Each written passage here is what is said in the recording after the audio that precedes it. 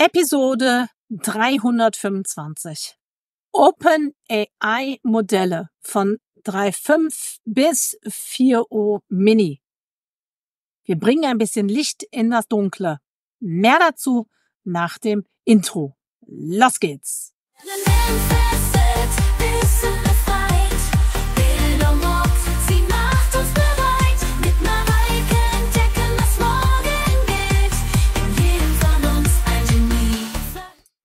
Schön, dass ich wieder in deinem Ohr sein darf oder auf deinem Screen, je nachdem, ob du das Ganze jetzt hier siehst oder hörst. Und vielen Dank auch, wenn du ein Mitglied meiner Community bist, der Bildung Rock mit KI Community. Mittlerweile sind wir über 600 Mitglieder. Vielen, vielen herzlichen Dank dafür. Ich weiß, momentan ist Sommerzeit und viele sagen, ah, ich komme jetzt gerade nicht dazu. Aber das bedeutet mir wirklich ganz viel, dass du Teil dieser Community bist. Und wenn nicht, werde einfach Teil dieser Community. Kostet dich ja nichts. Ja, ich habe es jetzt am Dienstag auch wieder erlebt in einer Prüfung zum AI Consultant. Ich bin da TÜV-Prüferin und ich prüfe auch die AI-Trainer. Und da ging es dann um, um Kosten auch.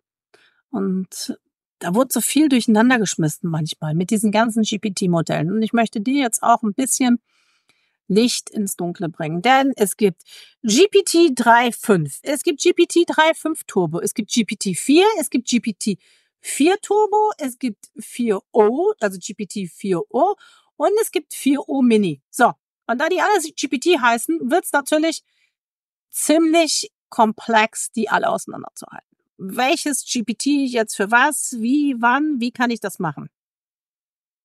Fangen wir mal bei den kostenfreien OpenAI-Accounts an. Ich habe es gerade nochmal ausprobiert. Ich kann keine Bilder generieren. Das konnte ich aber auch mit der 3.5er Version im kostenfreien Konto nie. Ähm, das wird wahrscheinlich eine Begrenzung sein von kostenfrei. Und ich habe jetzt auch schon gehört, naja, weißt du, du brauchst gar kein kostenpflichtiges Konto mehr nimm das kostenfreie Konto, dann hast du ja mit GPT-4o zu tun. Ja, das stimmt. Hast du auch ganz viel und GPT-4o ist momentan das modernste KI-System von OpenAI. Allerdings kann es dir passieren, wenn du dein Limit erreicht hast, dass du runterfällst wieder auf 3.5. Das siehst du aber nicht, weil ChatGPT oder beziehungsweise OpenAI schreibt den kostenfreien Account nur noch hin. Ich gucke jetzt auch vorsichtshalber nochmal nach, damit ich dir nichts Falsches sage. Sie schreiben hin ChatGPT, da kannst du alles mitmachen. Oder du kannst ein Upgrade auf Plus machen. Aber du kannst nicht ähm, sehen, welches ChatGPT-Modell gerade verfügbar ist. Und bei mir hat das gerade mit der Katzengenerierung nicht funktioniert. Ich wollte ein Bild von der Katze generieren lassen, hat er mir dann einfach ein paar Bilder, die er eher im Internet gefunden hat, die er mir dann zur Verfügung gestellt. Also 3.5 war ein gutes Around-Modell und die Anwendungsfälle waren so Textgenerierung, Übersetzung, Zusammenfassung. Das konnte das 3.5er ganz gut. Die Stärken waren vielseitig einsetzbar und eine gute Alltagssprache. Die Einschränkung war, es war weniger präzise als modernere Modelle. Es fällt natürlich jetzt stark ab zu 4O, aber da kommen wir gleich noch drauf. Und es hat eine begrenzte Kontextlänge. Dann gibt es noch die GPT 3.5 Turbo Variante. Auf die hast du im kostenfreien Account keinen Zugriff gehabt, sondern nur mit einem Plus-Account. Das war die verbesserte Version von 3.5. Sie war schneller und kostengünstiger. Die eignet sich besonders gut für Chatbots und Echtzeitanwendungen. Sie hat eine sehr schnelle Anwendungszeit und ist kosteneffizient. Das heißt also, die, du musst das so sehen mit den Kosten, das bezieht sich jetzt auch ein bisschen, wenn du eine API-Schnittstelle benutzt. Also wenn du zum Beispiel eine Zapier-Anbindung machst oder eine Make-Anbindung, automatisierte Prozesse dann ist das hier nochmal anders relevant für dich auch. Es hat die Einschränkung, dass es weniger präzise war als GPT-4. So, GPT-4 ist ein fortschrittliches Modell. Es hat multimodale Fähigkeiten. Entschuldigung. Die Anwendungsfälle sind bei komplexen Analysen Du kannst auch damit äh, Programmiercodes generieren lassen und es kann kreativ schreiben. Die Stärke ist, ist, es hat eine hohe Genauigkeit und versteht den Kontext besser.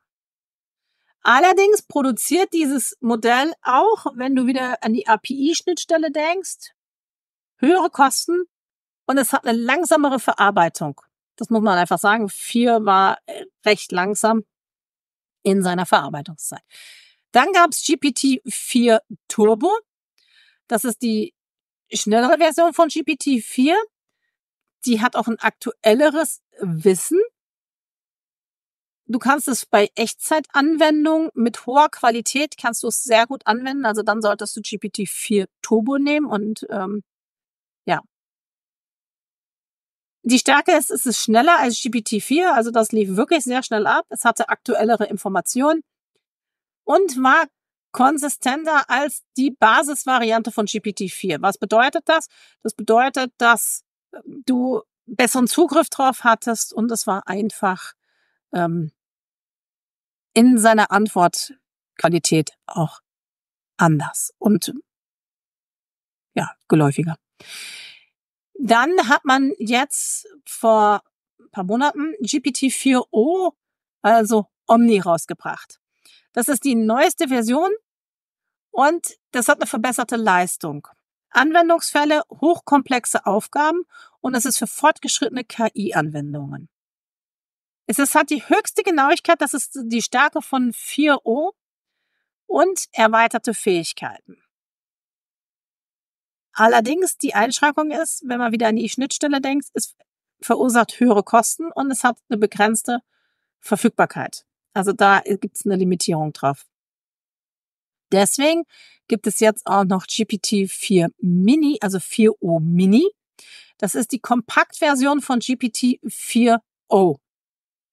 Das ist so ein bisschen balanciert auf die Leistung und Effizienz. Aber OpenAI sagt selber, wenn du effizienter sein willst oder komplexere Aufgaben, dann nimm immer 4o und nicht 4o Mini.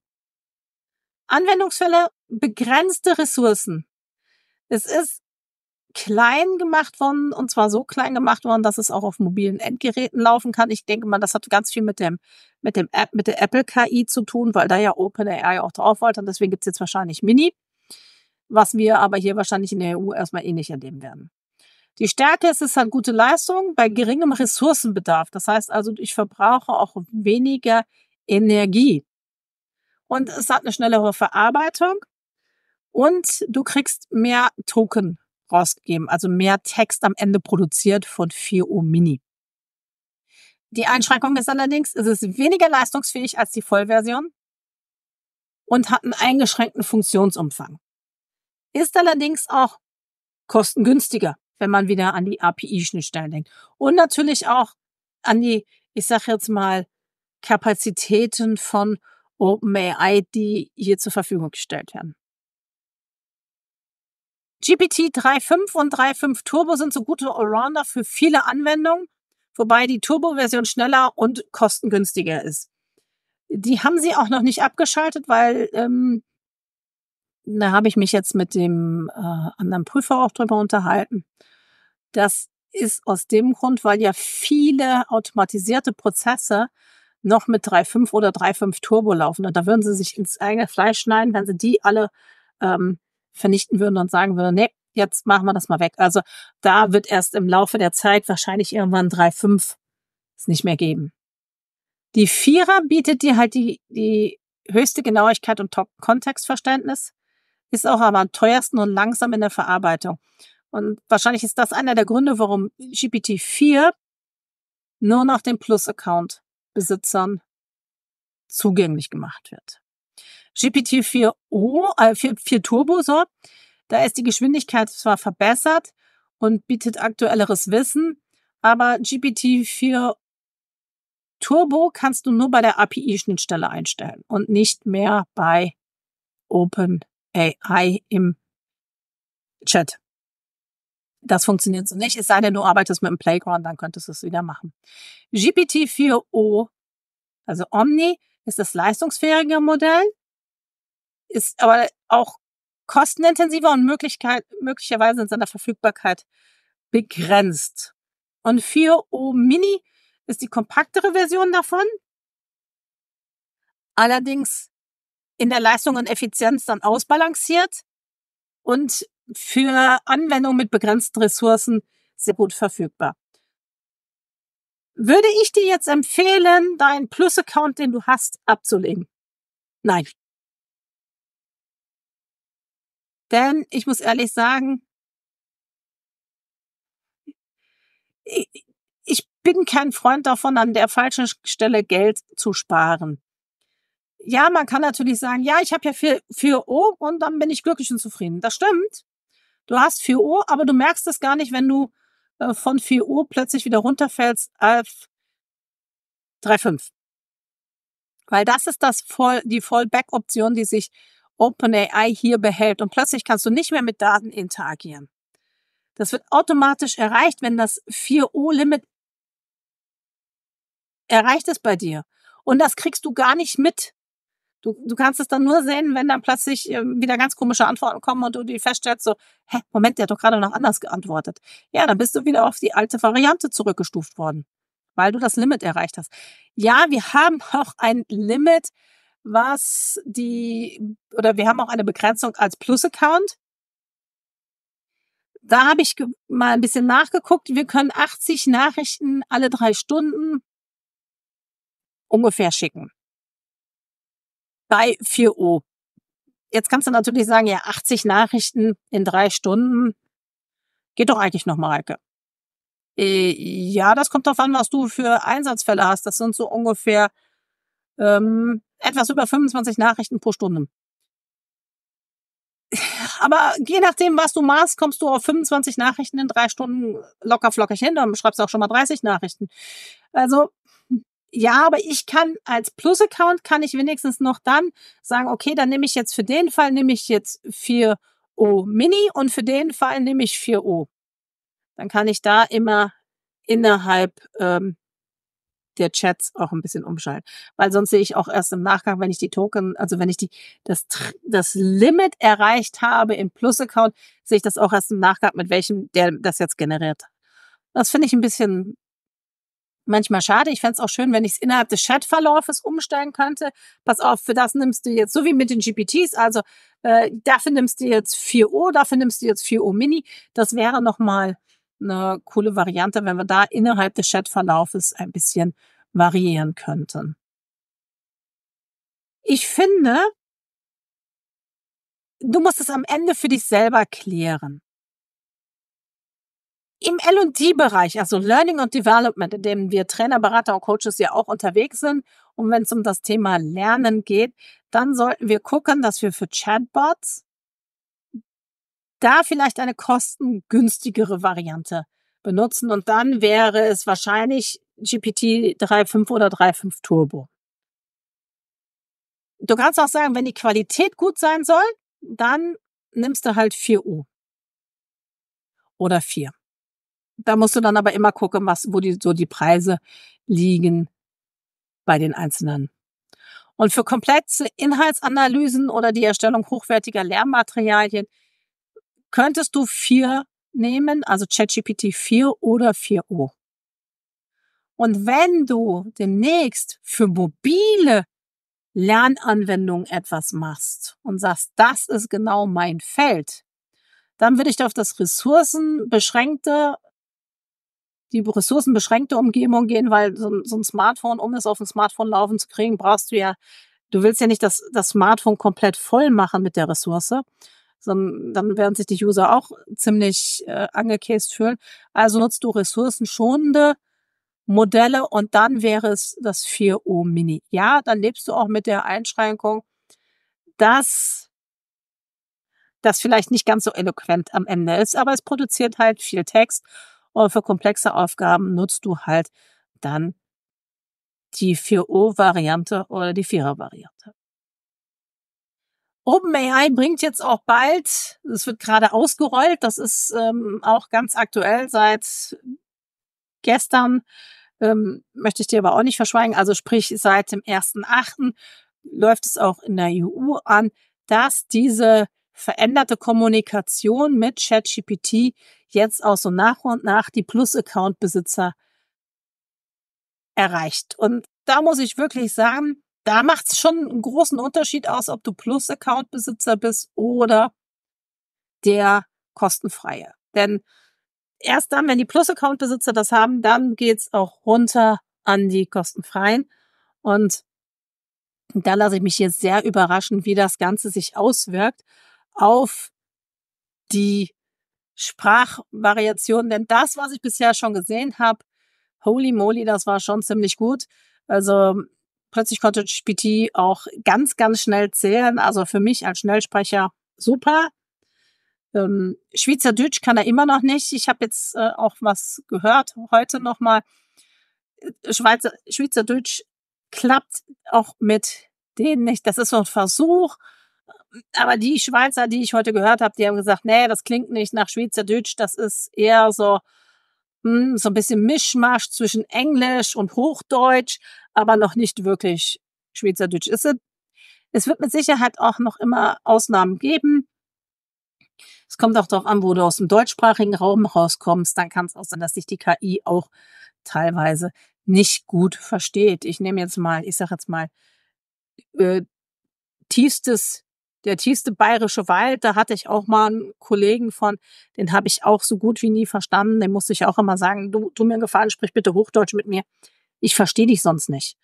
Ähm, also, ne, je nachdem, wo du halt wohnst, in Deutschland, in der Schweiz oder in Österreich oder sonst wo irgendwo auf dieser wunderschönen Welt, dann und du sprichst Deutsch, da kann es auch sein, dass du da auch Einfärbungen mit drin hast und die KI dich auch nicht versteht. Genau, das sind jetzt so diese einzelnen Vergleiche. Das ist jetzt nur mal der grobe Übersichtblick gewesen über das, was ich auch immer so mitkriege. Würde ich dir jetzt empfehlen, dass ich sage, hm, kostenfrei, also kündige deinen Plus-Account und geh auf kostenfrei. Ich würde es nicht tun und ich habe zwei GPT-Konten bei OpenAI. Ich überlege immer noch einen in einen Team-Account umzuwandeln. Mal gucken, um das einfach auch jetzt den AI-Practitionern mal zu zeigen. Was hat denn das für eine Bedeutung, wenn ich einen Team-Account habe? Wie, was, was macht denn das für einen Unterschied?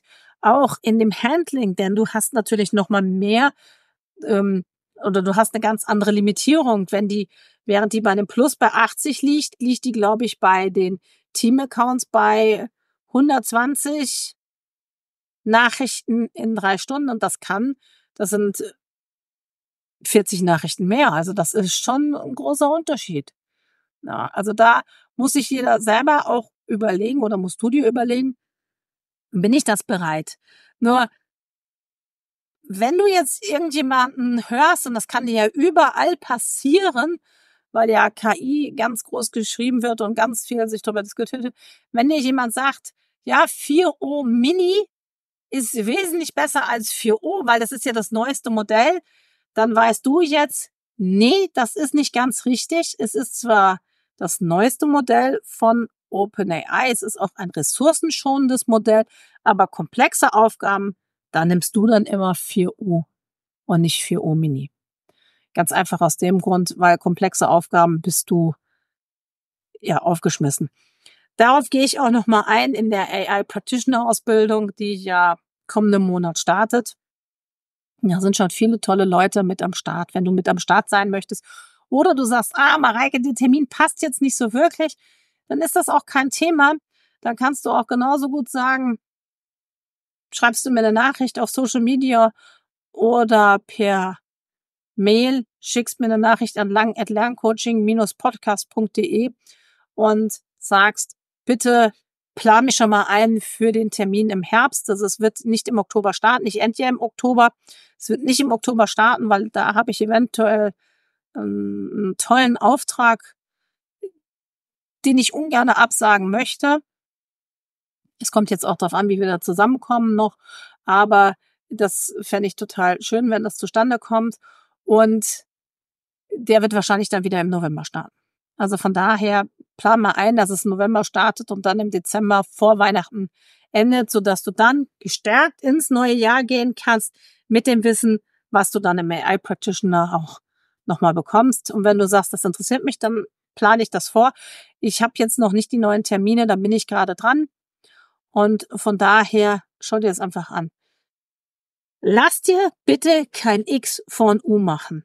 Ich, ich weiß wirklich, dass es schwierig ist zwischen diesen ganzen Modellen, auch was ist denn jetzt was. Im Grunde brauchst du dir nur noch merken 3,5 und 4O im kostenfreien. Du kriegst es aber nicht mit, wenn OpenAI das umschaltet. Es sei denn, du möchtest irgendeine äh, Aktion machen, die du nur mit 4O machen kannst, die du ja vorher im kostenfreien Account so nie machen konntest. Und wenn du dann plötzlich gesagt kriegst, nee, es funktioniert gerade nicht, dann bist du zurückgestuft worden von OpenAI, weil das Limit erreicht wurde, wobei sie da nie sagen, wo das Limit liegt. Das finde ich echt schade. Und im kostenpflichtigen Plus-Account kannst du halt wählen zwischen 4O, 4O Mini und ChatGPT 4. Das sind die Modelle. Alle anderen Modelle, die ich vorhin gesagt habe, diese Turbo-Modelle, die sind nur dann für dich relevant, wenn du etwas für deine Lernenden planst und dafür eine API-Schnittstelle brauchst. Da musst du aber auch wieder separat an OpenAI zahlen und dann kannst du mit Automatisierung auch arbeiten. Das ist aber nochmal eine ganz andere Hausnummer. Wenn dich das Thema interessiert, Automatisierung, dann kannst du mir auch gerne eine Nachricht schreiben. Und ähm, das kommt nämlich wahrscheinlich in einen der weiterführenden Module nach dem AI Practitioner auch drin vor. Automatisierung, was kannst du automatisieren, wie kannst du automatisieren? Und da kannst du mir dann auch schon mal gerne eine Nachricht schreiben, denn wenn es dann soweit ist, sage ich dir dann auch hier an dieser Stelle Bescheid. Genau, ich hoffe, das hat dir jetzt einen guten Überblick gegeben, was du für was einsetzen kannst.